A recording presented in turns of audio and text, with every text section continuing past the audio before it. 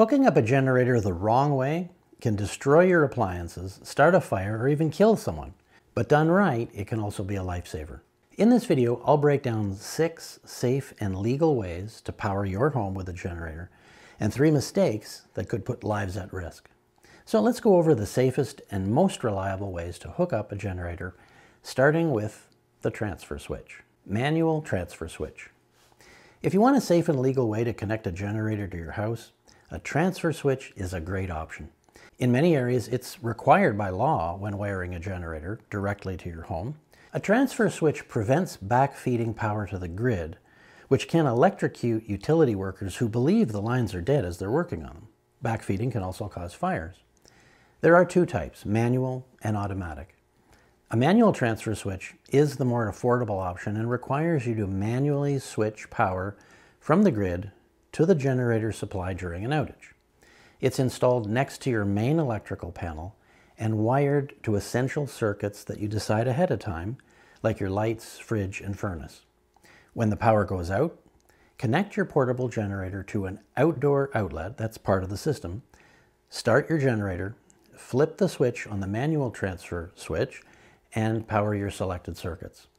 When the grid comes back on again, shut off the generator, then disconnect the power cable until the next time.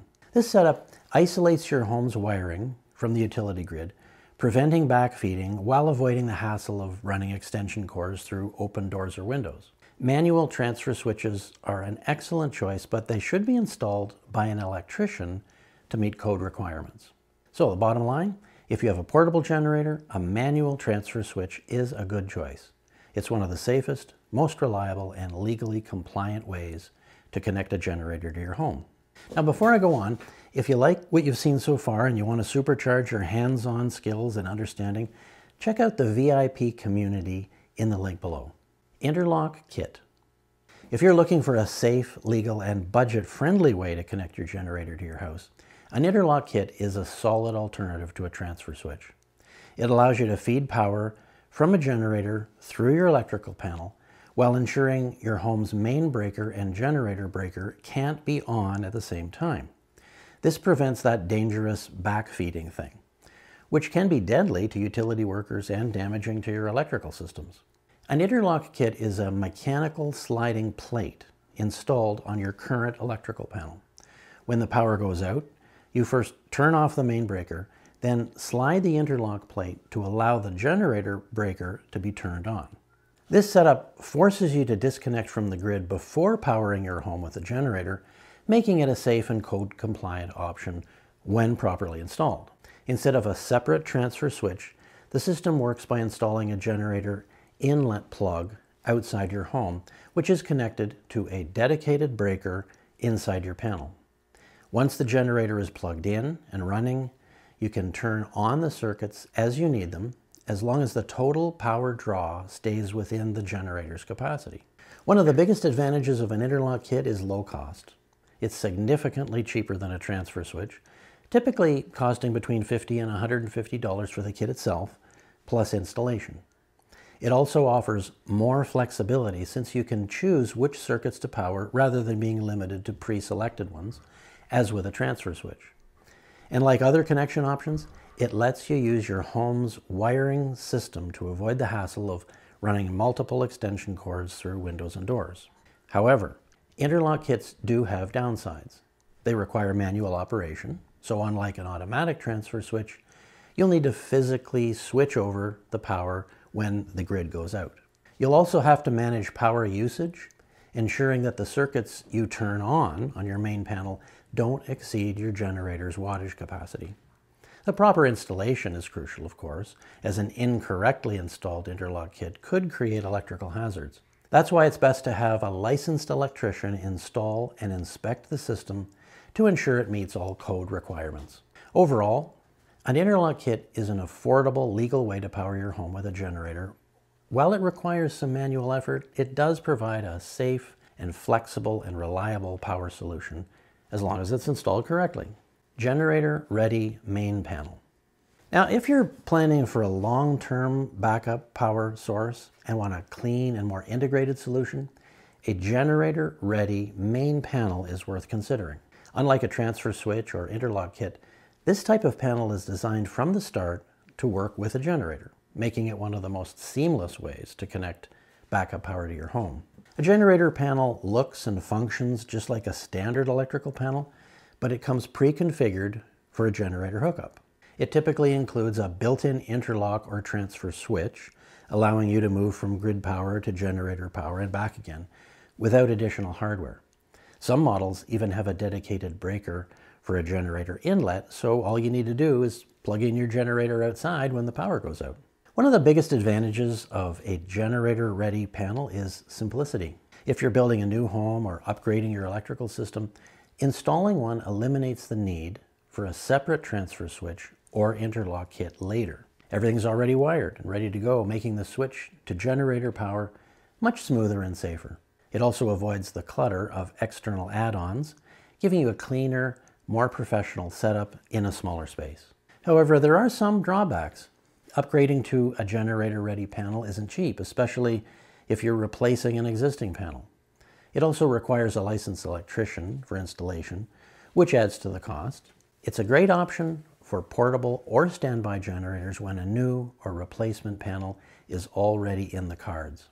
So the bottom line on this one, a generator-ready panel is a smart investment if you're planning for reliable backup power and want a built-in code-compliant solution. While more expensive up front, it makes generator use easy and more streamlined too.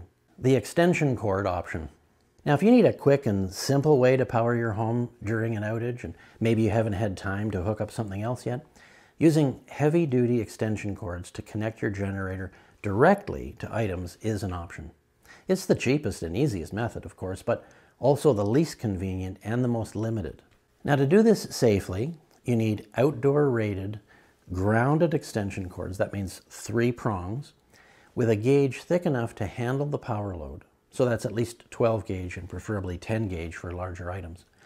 You simply connect the generator to whatever you want to power with this cord, and that could be a fridge, freezer, space heater, anything with a cord that you can normally plug into the wall.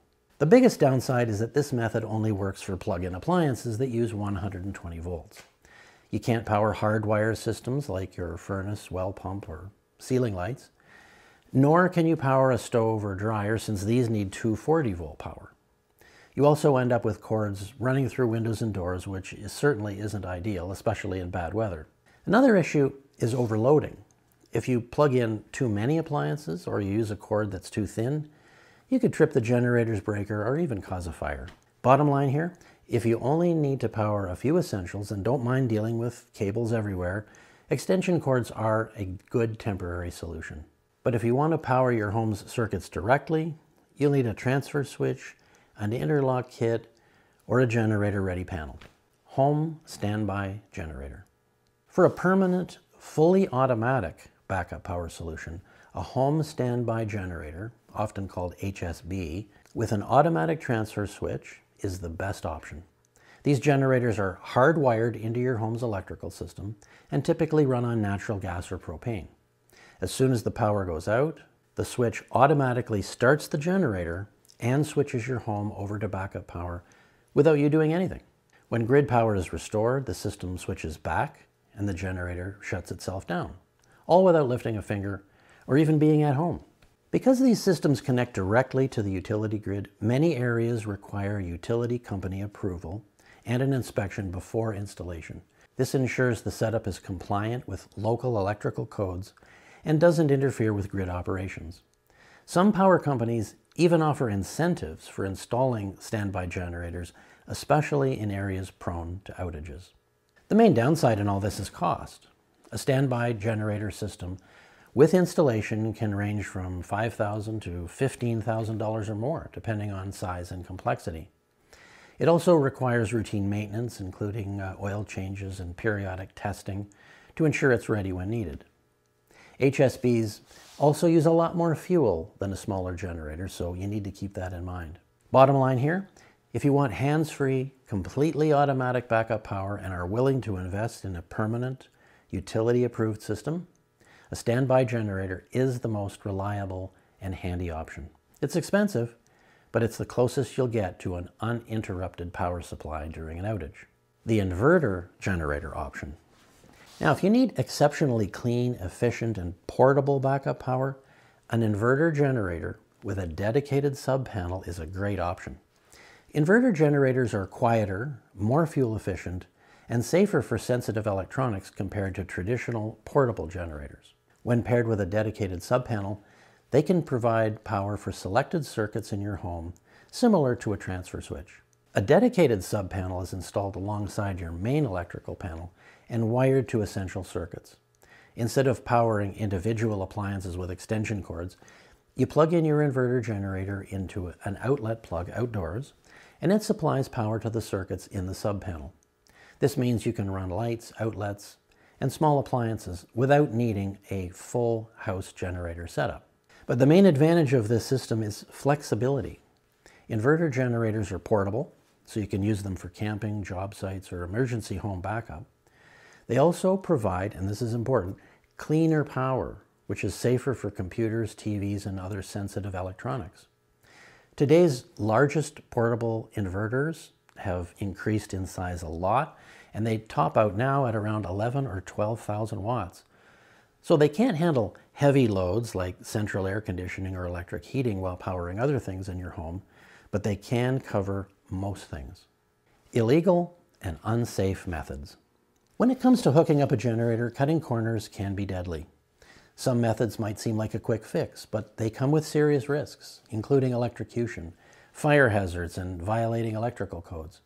No matter how tempting it is to make it work, avoid these dangerous and illegal generator connection methods. One of the worst and most dangerous mistakes is backfeeding power through a dryer outlet often using what's known as a suicide cord, a cable with two male plugs, one on each end.